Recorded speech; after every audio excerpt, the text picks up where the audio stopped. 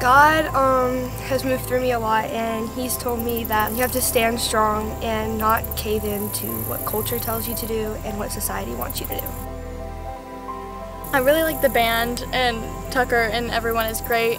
And music has always been sort of like a really good way for me to connect to things and people. And so I really just think worship is my favorite part.